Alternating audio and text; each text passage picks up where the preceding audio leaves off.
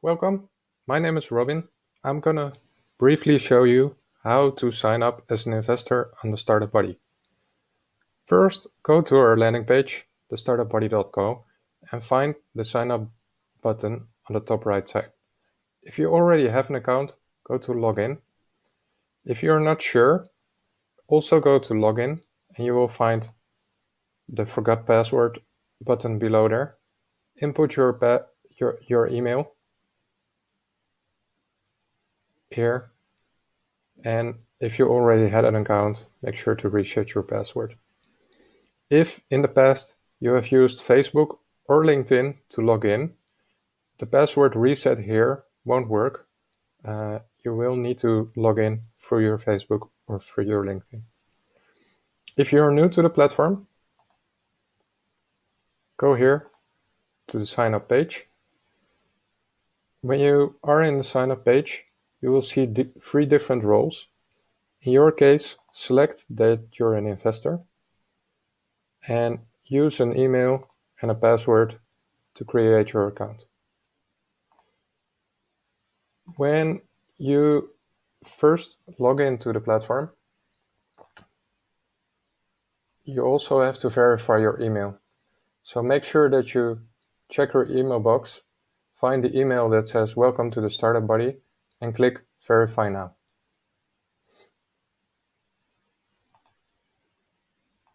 Once you have done that, you will be asked to fill out a couple of questions during the sign-up flow.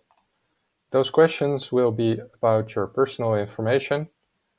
It will ask you for your LinkedIn profile, um, and it will ask you to put up a profile photo. We like the Startup Buddy to be a reliable platform both for our investors and for our startups.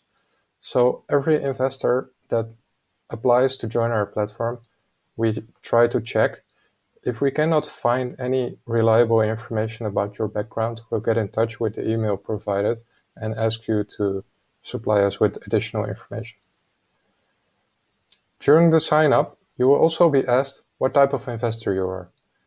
For example, if you're an angel investor or VC, or maybe you're working for a private equity company, if you are a VC, what company you work for, which regions you invest in, uh, which industries, etc., etc.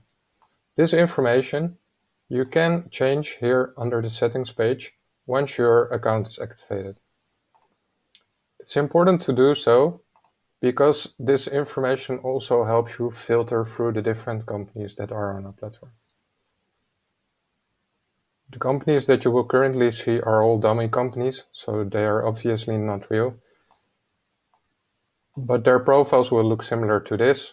You will find information about the ticket size, um, about what type of investment or what type of investor these companies are looking for, where they're active, etc.